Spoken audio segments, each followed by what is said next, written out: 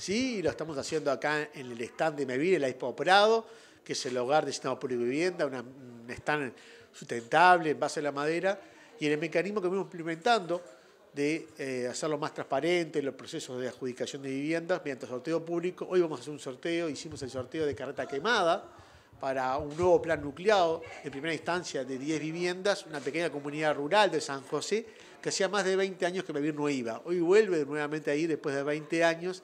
Y bueno, es una alegría para esta familia y sabemos que, bueno, que tenemos que hacer más etapas e ir avanzando en concretar más soluciones, pero es un paso muy importante, que me vuelva a la comunidad, estas pequeñas comunidades rurales del interior, no tan profundos, porque San José es cerquito, pero que necesitaba que me estuviera presente, bueno, estamos presentes junto a las familias y el sorteo es el elemento más igualador de oportunidades.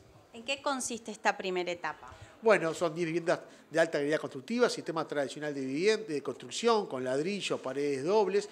Bueno, van a tener redes de agua potable, redes de saneamiento. O sea, Mevir va a construir las viviendas, pero urbanizar también conforme a una manzana, con sus calles y sus servicios.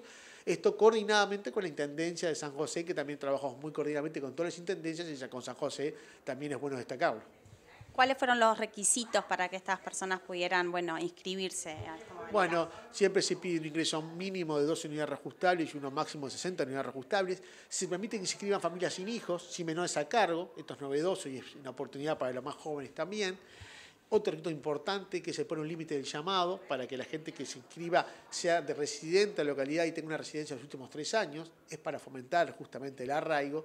Y otro elemento imprescindible es la ayuda mutua. MEVIR son participantes, no son beneficiarios. Estas familias van a tener que trabajar en las obras con nosotros, ese esfuerzo compartido, que es lo que le da el sentido de pertenencia a MEVIR. Y bueno, es una grifa de institución desde don Alberto Gallina de Gebar y venimos trabajando en esa línea.